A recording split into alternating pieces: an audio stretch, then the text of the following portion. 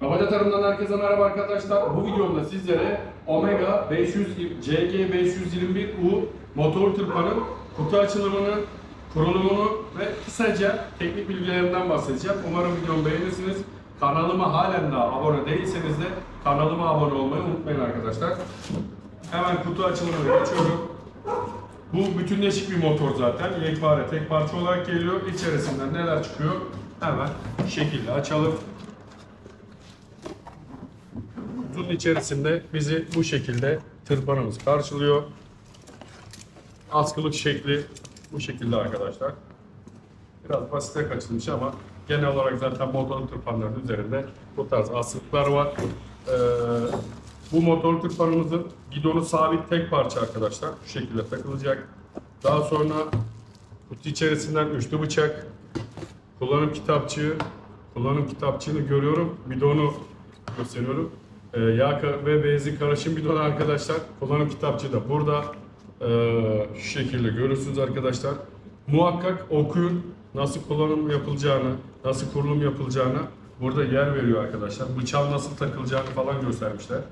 Ee, bu size kılavuz olarak, yardımcı kılavuz olarak bir avantaj sağlayacak arkadaşlar. Okumadan geçmeyin. Daha sonra şöyle atıyorum. Alet edevat poşeti ve e, misine kafası var arkadaşlar. Hemen şuradan bu motoru, motor tırpanımıza bu şekilde parçaları bir kenara alıp kartondan bir kurtulalım arkadaşlar.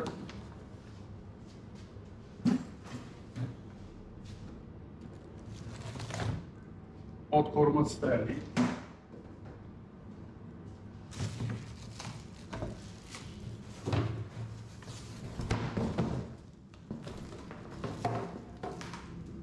Kurulumu gördüğünüz üzere zor değil arkadaşlar. Hemen şu poşeti de açmak istiyorum sizler için.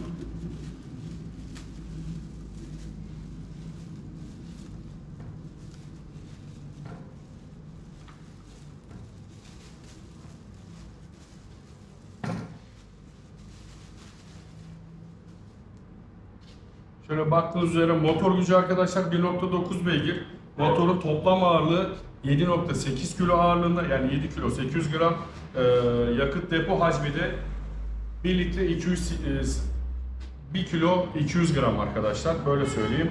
Litre aslında sıvılar litreyle hesaplanıyor. Hava filtresini hemen buradan göstereyim size şu şekilde. Düz bir hava filtresi var sünger. Bu temizlenebilir bir şey arkadaşlar. Bunu temizlerken e, benzin döküp sıkıyorsunuz. Daha sonra e, sıvı solun döküp suyun altında bu şekilde temizlerseniz çok çabuk daha temiz olacak arkadaşlar. Tabi kurumadan takmıyorsunuz motorunuza. Hemen karbüratörü burada hava filtresi sökülürken şuradaki yakıt pompasından bahsedelim. Burada benzin pompası var arkadaşlar. Buradan benzini çektiriyorsunuz. Yakıt hortumlarını gördünüz. Hava filtresi bu şekilde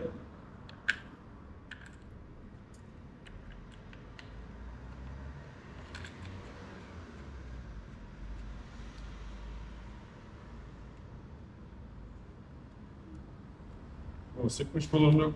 Şimdi arkadaşlar gidonu montajlamadan önce e, direktmen şaftı takacağım. Direkt şaftı diyorum pardon koruyucu siperliği takacağım. Daha sonra diğer parçalarını da hemen buraya.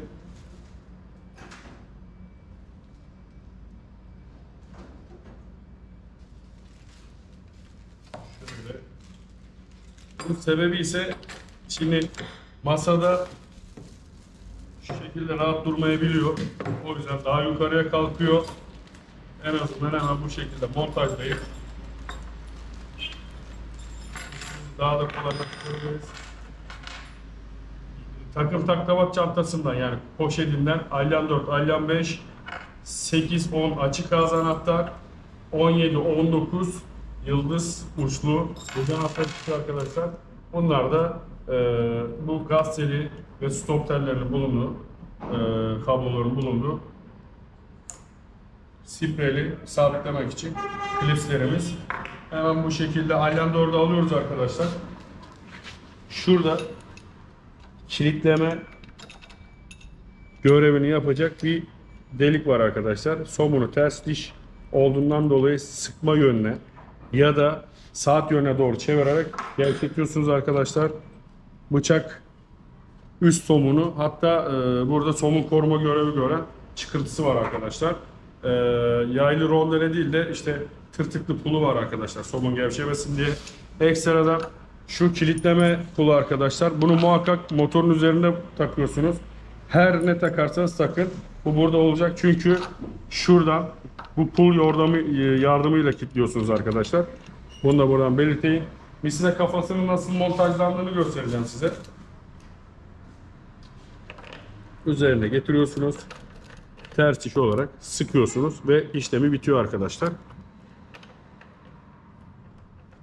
Bunu söküyorum. Hemen bıçak montajına başlayacağım. Bıçağın tersi düzü yok arkadaşlar. Şu kısımların her iki tarafı da e, bileğli vaziyette yani keskin vaziyette. O yüzden isterseniz bu şekilde takabilirsiniz. isterseniz bu şekilde takabilirsiniz. Değişen bir durum yok.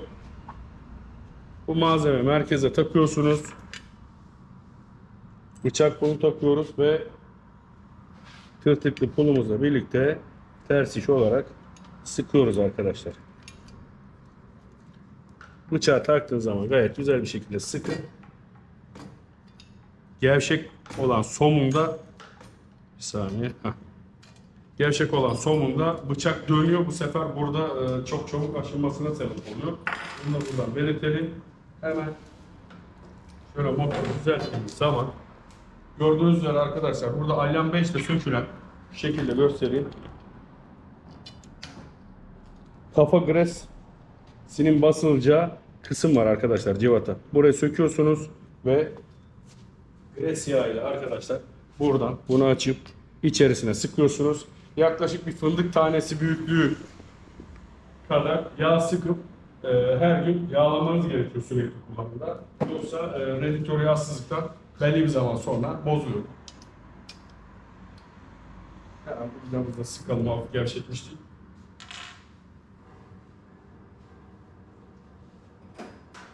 Şimdi siperlik takacağım arkadaşlar ilk etapta. Kurulumu zor değil. Tek bir parça olarak geldiğinden dolayı yani bütün yekpare. Yani diğerlerinin de zor değil. Şurada 4 tane vida takıyorsunuz fazladan. Bunu da buradan belirteyim. Alem 5 anahtarla şu kısmı söküyorsunuz arkadaşlar. Şap borusu kalınlığı 26 milim. Burada e, siperlik metalin üzerine damgalamışlar arkadaşlar. Onu da söyleyeyim.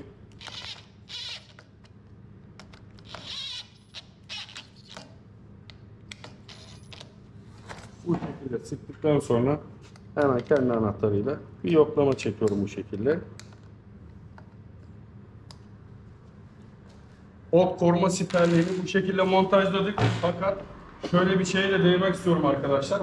Burada bıçak kullanıyorken şuradaki gördüğünüz siyah plastiği muhakkak sökün. Çünkü burada e, mesafe çok fazla olduğundan dolayı yere çok yaklaştıramıyorsunuz.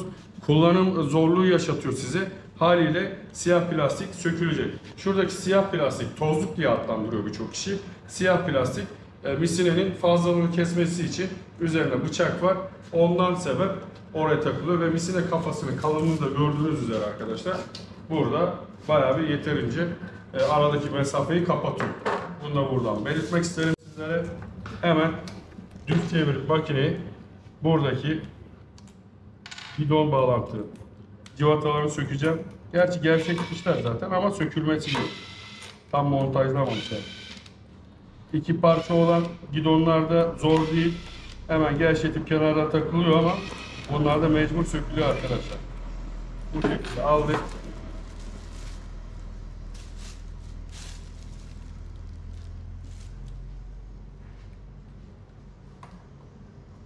Şimdi burada tam ortasına takmıyorsunuz. Onu da belirteyim.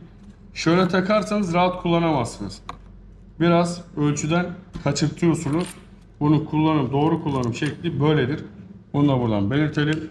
Ee, hemen şu açıyı yakaladıktan sonra vidalarımızı sıkıyoruz arkadaşlar.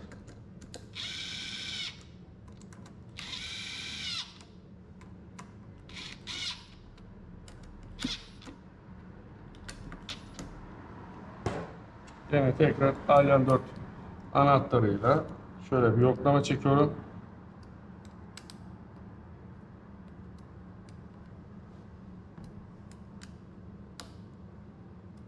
Bu şekilde gidon montajımızı da yaptık. Şimdi buradaki kabloların klipslerini takmaya geldi sıra.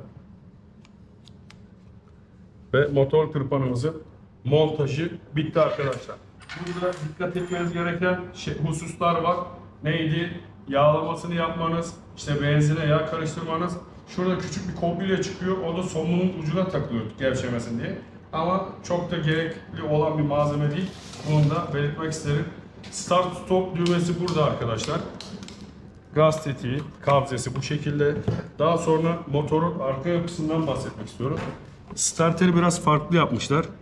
Yani kendi bu arıza yaptığı zaman kendi starteri haricinde e, belki diğer markalarınki uymayabilir şuradaki e, kesintilerden dolayı. Ama gayet güzel bir makine.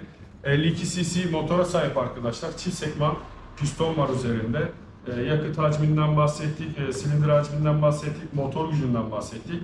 E, starteri Şöyle bakıyoruz çift yaylı. Easy Start denilen bir sisteme sahip arkadaşlar. Balatası da zaten birçok modelde bulunan balatayla aynı.